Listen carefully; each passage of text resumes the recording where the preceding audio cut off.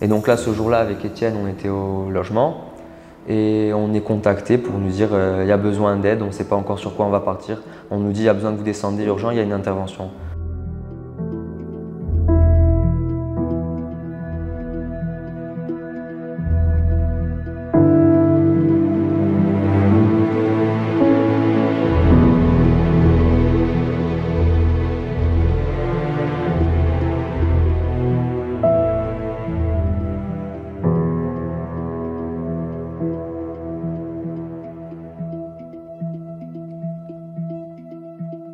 Ensuite,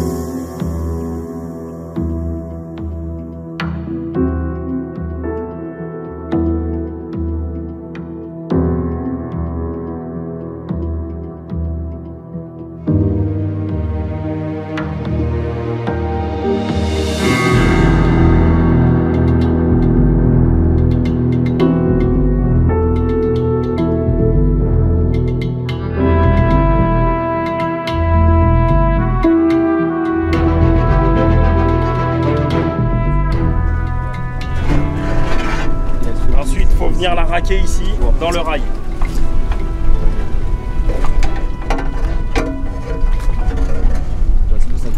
Elle avance parce qu'après, c'est bloqué derrière. Allez-y, larguez la porte. Voir la. Tu la lèves, euh, voilà. faut qu'elle tombe à la verticale du bateau. hein. Elle, va, elle va couler petit à petit. Faites- là, non, envoie du mou, envoie du mou. Voilà, jusqu'au nœud. Parfait. Ensuite, on se fait de la place. L'échappement au niveau de la porte pour pas aller cramer un boudin. Tac. Allez, vas-y. Et là, on amorce. Vas-y, vas-y, vas-y, vas-y, vas-y, vas-y. On va en mettre un, donc vas-y, vas-y, vas-y, vas-y.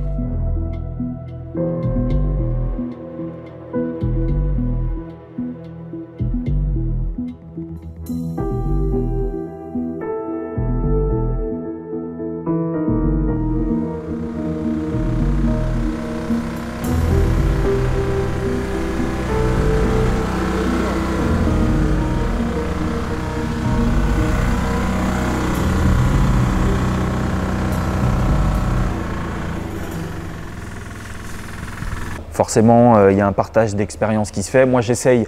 J'étais, euh, avec Pasqua, euh, l'un des, plus âgés sur le poste d'intervention. Là, donc, euh, j'ai- j'aime transmettre mon savoir, ce que j'ai pu apprendre en formation, ce que j'ai pu voir en cas concret ici en intervention en Corse, que ce soit ma connaissance de la zone, euh, donc mon expérience du, terrain, que ce soit euh, mon expérience en termes de pilotage et de, navigation euh, sur les moyens qu'on a ici, parce qu'au final, c'est quand même des, embarcations qui peuvent être complexes à maîtriser, à appréhender et à, faire évoluer dans des milieux où il peut y avoir des grosses vagues, du vent et autres. Donc ça, j'aime transmettre. euh, et puis après, j'aime aussi apprendre des autres. hein. Euh, cette année, on avait la chance d'avoir Mathieu, qui est un, futur médecin et qui, euh, qui, devient excellent en secourisme et qui, tous les jours va au-delà de ce que nous, on a pu apprendre en secourisme classique, PSE1, PSE2. Et qui, voilà, qui... Donc chacun apprend de l'autre, chacun grandit et c'est ce qui fait la force des, équipes ici. Ma première intervention, c'était à Caladorze, euh, chez Francis, une femme qui s'était fait une entorse à la cheville. Euh, quand on a reçu le message, euh, j'étais assez stressé, assez angoissé pour la première intervention euh, sur le patrouilleur. Mais après, je me suis dit que c'était une intervention comme une autre qu'il fallait y aller et que ça pouvait pas mal se passer. Thibaut, Thibaut, il a eu la meilleure des formations, c'est-à-dire la formation sur le tas. Il n'a pas eu d'autre choix que de se mettre dedans très rapidement.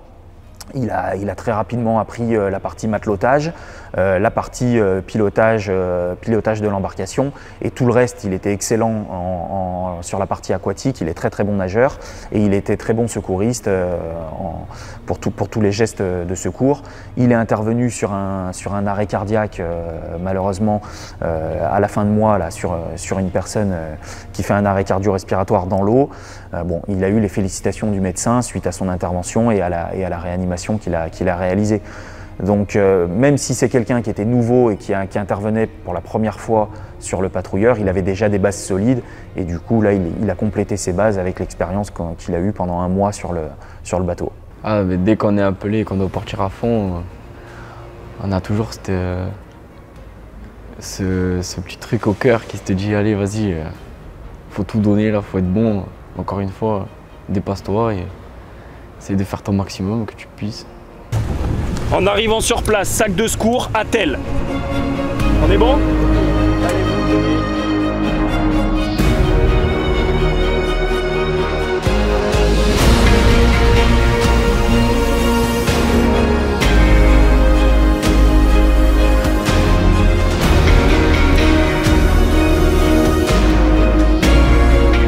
À basse allure, pendant qu'on est dans le chenal, préparez le sac et les attelles. Ensuite, vous vous projetez, vous partez sur la victime. Pasqua et Mathieu, tous les deux, on reste pour gérer le bateau. On va l'amarrer et ensuite on les rejoint. Il y a un VSAV qui est engagé et qui n'est pas encore parti. On va essayer d'arriver avant.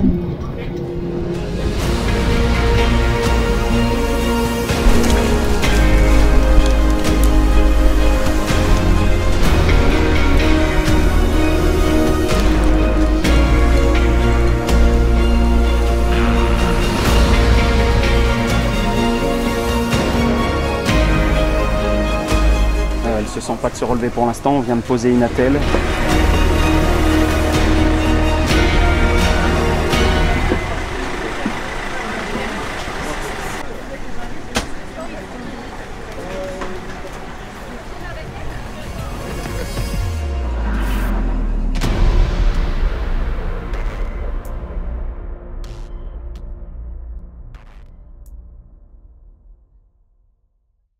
Alors l'intervention du chien, euh, c'est marrant. Nous, c'est pas forcément celle qui nous a marqué le plus, mais en tout cas, elle a beaucoup fait réagir les gens euh, à Propriano et, euh, et- dans le reste de, la région, voire même en France, puisqu'on a été extrêmement sollicité par les journaux et par, enfin, par, par toute la presse après cette intervention. En fait, on sauve un chien qui est en perdition au milieu du golfe, à plus de 800 mètres des côtes. Euh, qui est, euh, c'est des plaisanciers qui le voient euh, depuis leur bateau, mais qui n'arrivent pas à l'approcher parce que le chien nage à l'inverse du bateau à chaque fois qu'ils essayent de, l'approcher. On ne sait pas comment il s'est retrouvé là, mais dans tous les cas, on est intervenu à quatre équipiers parce qu'on était disponible à ce moment-là. On était au café le matin lorsqu'on est déclenché. Et on part justement avec Antoine Jean, Laurence, Mathieu et moi à fond, comme si on allait sauver une vie. Alors voilà, là, par exemple, ça c'est un exemple d'intervention qui relève du bénévolat de la station, parce que c'était en dehors de nos heures de travail, donc nous c'est de 10h30 à 18h30. Mais voilà, comme on, on prévient la station qu'on est disponible et donc on sait qu'on peut être appelé les matins, la nuit, euh, s'il y a besoin d'aide. Et donc là, ce jour-là, avec Étienne, on était au logement et on est contacté pour nous dire euh, il y a besoin d'aide, on ne sait pas encore sur quoi on va partir. On nous dit il y a besoin que vous descendiez urgent, il y a une intervention. Donc là, voilà, on ne se pose pas de questions, on prend nos affaires, on vient de suite au centre et on part en bateau donc, euh, sur cette intervention. Donc là, on nous apprend que c'est des témoins qui ont aperçu un chien au milieu du golfe, qu'ils ont essayé de le récupérer, qu'ils n'ont rien pu faire.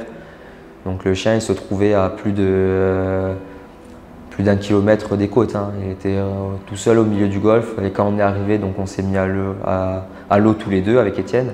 Et du coup, on récupère ce chien euh, en se mettant à l'eau, Mathieu et moi.